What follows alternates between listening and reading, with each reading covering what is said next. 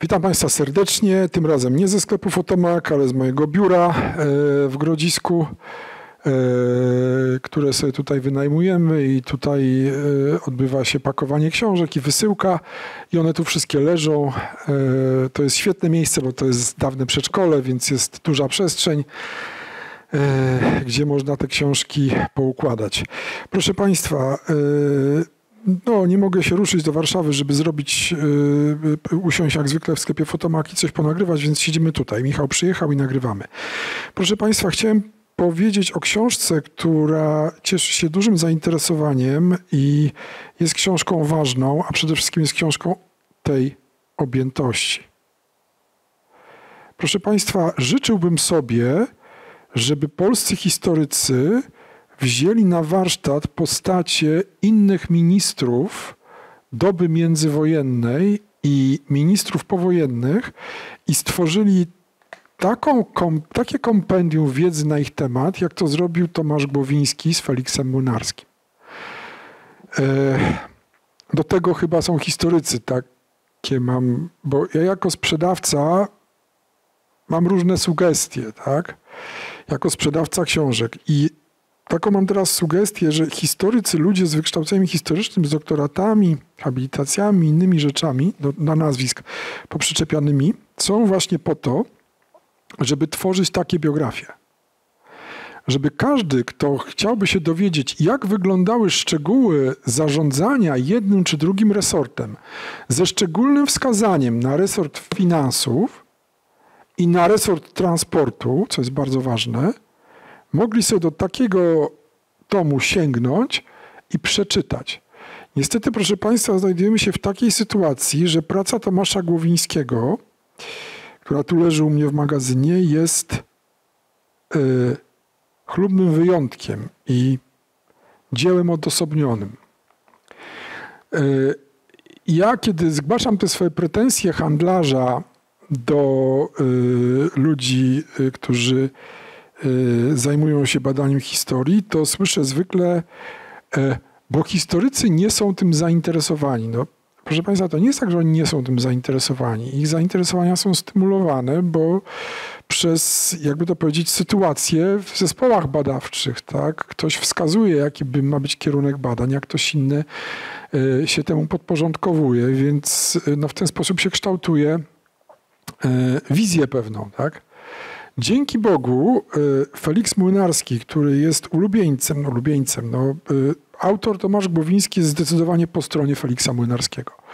On go traktuje jako wybitnego mm, ekonomistę, człowieka, który wziął na siebie olbrzymią odpowiedzialność za y, utrzymanie płynności finansowej y, banku w generalnym gubernatorstwie i w ogóle za ten aspekt życia y, ludności w okupowanym kraju.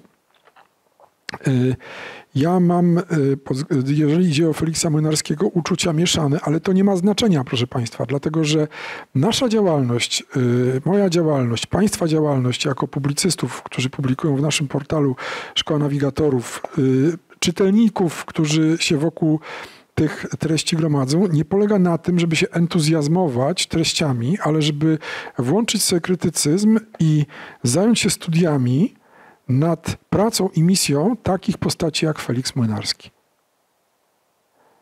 E, bo z tego wyjdzie nam historia, e, która będzie trochę inna niż ta lansowana w pismach propagandowych, bez względu na to, która władza akurat e, dzierży ster rządów w Polsce. Proszę Państwa, jak wiemy, Felix Młynarski był człowiekiem związanym e, z e, sanacją. Felix Młynarski był człowiekiem, który e, musiał dogadać się z okupantem niemieckim i firmować życie finansowe pod okupacją niemiecką. Felix Młynarski był jedną z tych postaci, która po wojnie odnalazła się w rzeczywistości komunistycznej. Nie zrobiono mu żadnej krzywdy. E, odsunięto go co prawda na boczny tor, ale nie od razu. Więc proszę Państwa, przypadek Feliksa Młynarskiego, on dożył lat 70. w dobrym zdrowiu. Przypadek Feliksa Młynarskiego jest przypadkiem który wielu ludzi konsumujących historię powierzchownie powinien zastanowić się. i to poważnie. A objętość tej pracy Tomasza Głowińskiego powinna to zastanowienie jeszcze pogłębić. Dwudziestolecie międzywojenne i czas okupacji to jest ten moment w dziejach, na temat którego różni publicyści bardzo e, chętnie się wymądrzają. Snując koncepcje mniej lub bardziej uwikłane, mniej lub bardziej prawdopodobne, mniej lub bardziej kokieteryjne. Natomiast brakuje właśnie tego, czym jest ta książka, czyli brakuje rzetelnego studium nad postaciami z epoki, szczególnie nad postaciami cywilnych ministrów, bo ekscytacja y, ministrami w mundurach to jest coś chronicznego y, i nudnego już. Natomiast brakuje, proszę Państwa, dzieł historyków, a być może i pisarzy, bo dlaczego nie, e, poświęconych e, takim postaciom jak e, Felix Młynarski. Wynika to po trosze z tego, że my jako wspólnota zainteresowana sobą, jesteśmy skazani na pastwę i na łaskę bądź niełaskę osób, które dystrybuują i sił, które dystrybuują propagandę globalną. To znaczy z Hollywood nie wygramy, a nawet nie próbujemy. A jeżeli to stosując takie narzędzia, yy, które nie mogą przynieść sukcesu, natomiast nie jesteśmy nawet w stanie sobie sami wytłumaczyć na poważnie, co jakiś czas ktoś próbuje robić coś na poważnie i zawsze wychodzą z tego, wychodzi z tego komedia. Więc ja ostrożnie jestem, ostrożny jestem w e, lansowaniu tego sformułowania na poważnie.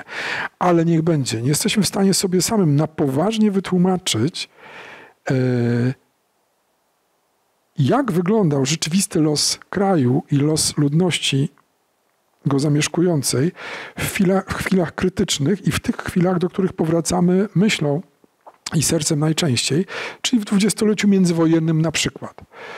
E, dzięki tego rodzaju pracom to będzie łatwiejsze. Ja tę książkę będę lansował i promował jeszcze długo, także będziemy do niej wracać, zwłaszcza, że na Allegro y, są pasjonujące zupełnie dzienniki Młynarskiego, których nie możemy wydać, dlatego że no nie upłynęło 70 lat od śmierci autora i jeszcze długo nie upłynie, a on nie dość, że był bardzo sprawnym e, autorem, to znaczy pisał e, energicznie, z nerwem, z pasją. W ogóle no te treści, proszę Państwa, no chodzi o pieniądze, tak? Minister finansów, litości. On tam pisze, człowiek, który stał za wszystkimi najważniejszymi kulisami w ogóle, wiedział wszystko. Są tam zupełnie wstrząsające rzeczy. Ja cytowaliśmy kiedyś opis budowy portu w Gdyni. To po prostu coś, co wyrywa z butów. A są tam inne rzeczy. Tutaj w tej książce też. No więc y, fajnie by było y, wznowić te pamiętniki. No na razie nie mogę tego zrobić. Być może ktoś, kto znajdzie, dotrze do rodziny, do spadkobierców praw autorskich, będzie mógł to zrobić. Chętnie będę to sprzedawał. Na razie Państwo sobie musicie tego poszukać na Allegro. No i zaopatrzcie się w tę biografię. To jest fantastyczny pomysł, żeby pisać biografię urzędników państwowych fantastyczny i bardzo rozwojowy.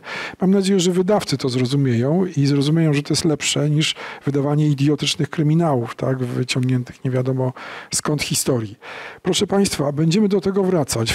Felix Młynarski, minister finansów w II Rzeczpospolitej, e, szef banku w generalnym gubernatorstwie, żyjący w latach 1884-1972. Serdecznie polecam. Potężna, potężna cegła. Dziękuję za uwagę. Do widzenia, do usłyszenia.